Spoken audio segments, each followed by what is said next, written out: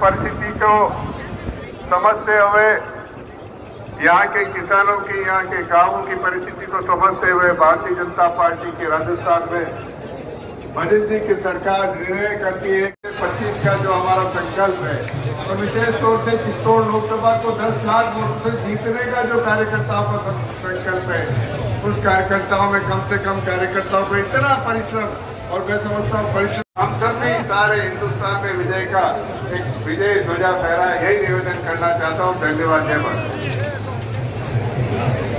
आदरणीय चुनालाल जी ग्रासिया साहब पधारे आपका स्वागत है। हम मैं चित्तौड़गढ़ के ज़िले के वरिष्ठ नेता और हमारे वरिष्ठ विधायक माननीय अर्जुन लाल जी जिनकर साहब।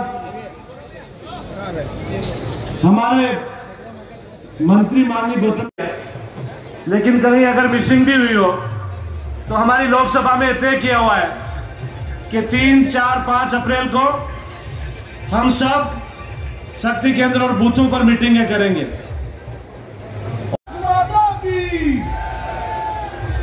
स्वागत है भाई, स्वागत है। दिया कुमारी जी का स्वागत है। स्वागत है भाई, स्वागत है। स्वागत है भाई, स्वागत है। प्रेम जी बेरवा हमारे उप मुख्यमंत्री भी हमारे मध्य में है, आप सब लोगों से। बड़ी अपील करता हूँ इनका स्वागत आपके शब्दों के माध्यम से करें। स्वागत है भाई, स्वागत है। मैं माननीय उप मुख्यमंत्री जी, दिया कुमारी जी के स्वागत के लिए आदरणीय सुशीला जी ज़िंदगी को आमंत्रित करता हूँ। वे आए।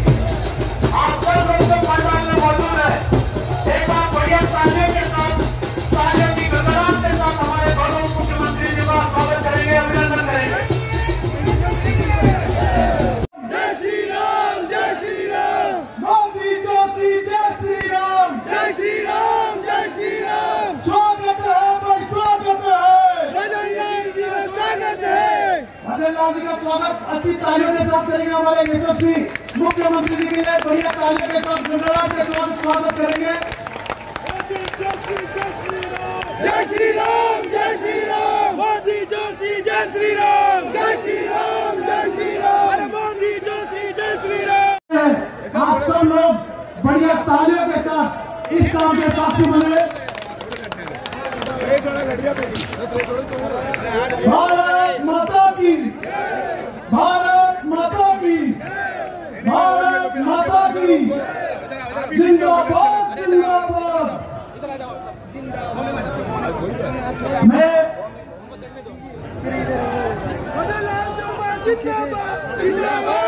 हमारे सभी विधायक गणों से आग्रह करता हूँ आदरणीय गौतम तक जी आदरणीय हेमंत मीणा जी माननीय श्री चंद कृपलानी जी हमारे कृष्ण पासवान जी आदरणीय चंद्रमोहन सिंह आत्या जी आदरणीय बद्रीलाल चौधरी जी मैं सबसे निवेदन करता हूँ हमारे मुख्यमंत्री जी का बड़ी माला के साथ स्वागत करें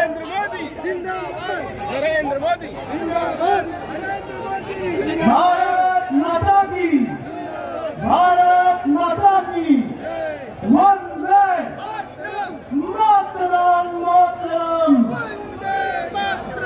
मातरम मातरम। भारत माता की। भारत माता की। हमारे लाडले मुख्यमंत्री जी का स्वागत हो रहा है। और ये मेवाड़ तरह में इनका स्वागत है। पीछे तक अगर आवाज़ सुन रहे हो इधर आवाज़ सुन रहे हो और मेरी आवाज़ जा रही है, तो बढ़िया तालियों के साथ हमारे मुख्यमंत्री जी का स्वागत करेंगे। भारत माता की स्वागत है भाई स्वागत है। स्वागत है भाई स्वागत।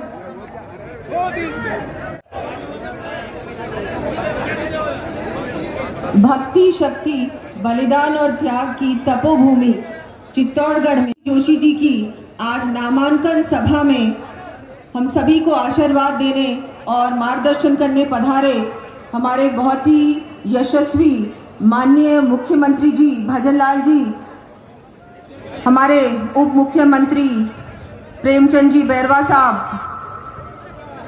और हमारे सांसद प्रत्याशी और यहाँ के बहुत ही लोकप्रिय सांसद मैं प्रत्याशी नहीं, सांसद कहूँगी। सम्मानित मंच कहूँगी, क्योंकि मुझे समय बस पाँच मिनट दिया गया है। तो सभी हमारे मंत्रीगण, विधायकगण, सभी हमारे नेतागण, हमारे नेता, पूर्व नेता, हमारे पूर्व नेता प्रतिपक्ष हमारे राजेंद्र राठौर जी, प्रभुलाल सैनी जी, हमारे खर्रा जी, सभी नेतागण, हम सभी यहाँ एकत्रित हुए हैं। आप सभी के बीच आए हैं। और मुझे लगता नहीं है कि कुछ भी कहने ने मन बना लिया है कि अब की बार मोदी सरकार, सिर्फ़ और सिर्फ़ प्रधानमंत्री मोदी जी और जिस तरह से मोदी सरकार ने और अब भजन लाल जी की सरकार ने राजस्थान में, डबल इंजन की सरकार ने राजस्थान में, केंद्र में मोदी जी और यहाँ राजस्थान में भजन लाल जी की सरकार, मोदी सरकार, भारतीय जनता पार्टी की सरकार लगातार इन सौ दिनों में, जिस तरह से इन सौ दिनों में ऐतिहासिक काम होने, चाहे हम ईआरसीपी e योजना की बात करें, चाहे यमुना का पानी शेखावटी तक पहुँचाने की बात करें, चाहे हमारी माताएँ बहनों के लिए साढ़े चार सौ रुपये में गैस सिलेंडर पहुँचाने की बात करें, पेट्रोल, डीजल का, की दाम कम करने की बात करें, ऐसे बहुत सारे काम हुए हैं। मैं गिनाना शुरू करूँगी हमारी सरकार की उपलब्धियाँ। पार्टी ने दिया है कि कांग्रेस का सफाया राजस्थान से करना है। तो इस टीम के साथ घूम रहा हूँ। लेकिन ये ज़रूर कहूँगा कि हम सब लोग, उन लोगों को चोट करने की तारीख 26 तारीख के जिन्होंने सनातन को गाली निकाली है, उसकी तारीख है 26 और जिन्होंने सनातन का सम्मान किया है, उसको वोट देने की तारीख है 26 तैयार है हम सब लोग? मित्रों, में विश्वास दिलाता हूँ, मोदी जी के तीसरे कालखंड में हमारा शीर्ष नेतृत्व और वरिष्ठ नेता बैठे हैं। आप सबके सहयोग से और आपके आशीर्वाद से मोदी जी जब तीसरे बार 400 पार के प्रचंड नारे के साथ प्रधानमंत्री बनेंगे तो आप सब लोगों के सहयोग से, हम सब लोगों को यहाँ के कामों को भी आगे बढ़ाने का काम मिलेगा और दावे के साथ 50 वर्षों में जो नहीं कर पाए, वो मोदी जी ने करके दिखाया है। तो हम लोग तैयार हैं? हर बुद्ध पर जाएँगे। भाजपा को जिताएँगे। इस बालक को आशीर्वाद देंगे। इस बेटे को आशीर्वाद देंगे। इस भाई को आशीर्वाद देंगे। मोदी जी तीसरी बार प्रधानमंत्री बने। इसके लिए 26 तारीख तक अपने समय का दान करेंगे। तो उठाए दोनों हाथ और मुख्यमंत्री जी को विश्वास दिलाए। बोली भारत माता की जय जय श्री राम बहुत बहुत धन्यवाद। मैं इस कार्यक्रम के पहले एक सूचना आपको देना चाहता हूँ। हम सब लोग जो आह्वान आदरणीय सीपी जोशी जी ने हमारे समक्ष किया है, हम लोगों का किया है। आज सीपी जोशी जी का नामांकन है। हमारा जो यहाँ का रास्ता है, हम जुलूस के रूप में क्या जुलूस के रूप में हम भजन लाल शर्मा, जिंदाबाद। सीपी जोशी, जिंदाबाद। फूल कमल का, जिंदाबाद।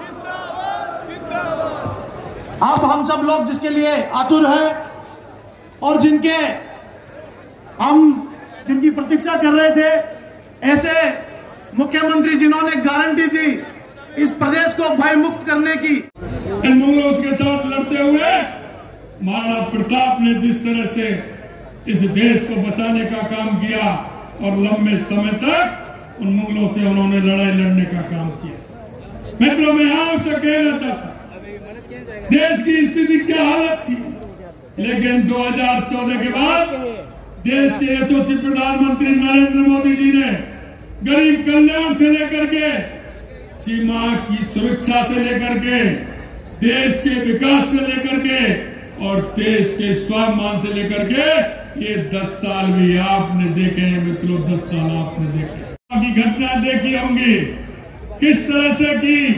लेकिन उनका जवाब भी आपने देखा होगा कि अंदर घुस के मारने का काम हमारी देश की सेना ने किया, वो आपके सामने मित्रों, में आपसे कहना था हमारे देश के यशस्वी प्रधानमंत्री नरेंद्र मोदी जी ने अगर किया तो मजदूर का सम्मान किया, किसान का सम्मान किया और हमारी माता बहनों का दर्द सत्तर साल में कोई नहीं जान पाया, लेकिन देश के यशस्वी प्रधानमंत्री नरेंद्र मोदी जी ने माता बहनों का दर्द जानते हुए आप देख रहे हो। अरे गरीब आदमी बैंक की चौखट पर नहीं जा सकता था। गरीब आदमी बैंक पर अपना खाता नहीं खुलवा सकता था। देश के यशस्वी प्रधानमंत्री नरेंद्र मोदी जी ने खाता खुलवाने का काम किया और कांग्रेस के पूर्व प्रधानमंत्री राजीव गांधी कहते थे कि दिल्ली से सौ रुपए भेजते हैं नीचे जाते जाते जनता के बीच में पंद्रह रुपए पहुँचते हैं। मैं आपको बताना चाहता हूँ देश के यशस्वी प्रधानमंत्री नरेंद्र मोदी जी ने सौ के सौ रुपए पहुँचाने का काम देश के यशस्वी प्रधानमंत्री नरेंद्र मोदी ने